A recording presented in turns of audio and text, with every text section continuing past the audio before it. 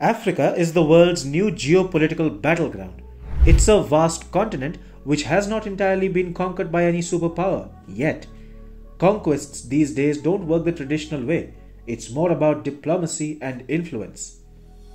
The big powers of the world are all trying to get ahead of each other in the race to win over Africa.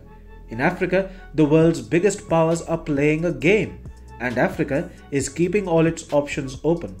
Why is Africa suddenly taking center stage for countries like the United States, Russia, China, and players in Europe?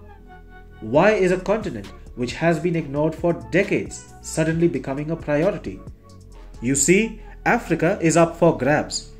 It's not entirely pro US. It's not completely on China's side either, and it has not committed itself entirely to Russia. This is Sanbir Singh Ranhotra, and you're watching Firstpost. Africa is home to the world's youngest and fastest growing population. About 60% of Africa's population is under 25, and the young population is set to grow to 80% by 2050. So, Africa's consumer market is expanding fast, and it will boom in the coming years. A young and fast growing population also means that the labor force across the continent is growing, that makes Africa an attractive business destination. The continent has 40% of the world's gold and up to 90% of its chromium and platinum. The largest reserves of cobalt, platinum, and uranium are in Africa. In totality, Africa is home to 30% of the world's mineral reserves.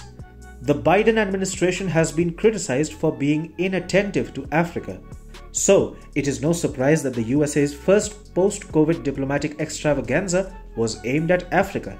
This week, 49 African leaders gathered in Washington to attend the second US Africa Summit, held after a gap of eight years. The United States is all in on Africa, Joe Biden told these African leaders. Biden also backed the idea of a permanent African Union role in the G20 and said he was planning to visit sub Saharan Africa soon that will be a first by a US president since 2015. Biden had earlier supported the idea of an African permanent seat on the UN Security Council. The US has also committed around $55 billion to Africa over the next three years. Obviously, the US is trying to court Africa. And why is that? You see, the US is actually a latecomer to the African party. Countries like China and Russia have been in Africa for years now. Over the past few years, China has built strong relations with governments and ruling elites in a host of African nations. It has rolled out its Belt and Road Initiative in Africa on a large scale. Washington has characterized Chinese lending as part of the BRI as a predatory scheme to debt trap African nations. Here are some interesting facts about the China Africa relationship. China has fully funded the $200 million African Union headquarters in Ethiopia's Addis Ababa. China has invested in the Mombasa Nairobi rail link in Kenya and has already delivered on railway projects in Sudan. China has been accused of severely debt trapping Kenya with the railway link, to the extent that Kenya demanded for the terms of the project to be renegotiated. China accounts for 67% of Kenya's external debt.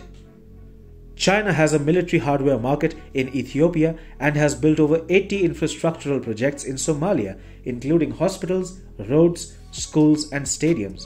In Djibouti, 14 infrastructural projects are funded by China. Ethiopia is one of the top five African recipients of Chinese investments and also has a debt of almost $14 billion.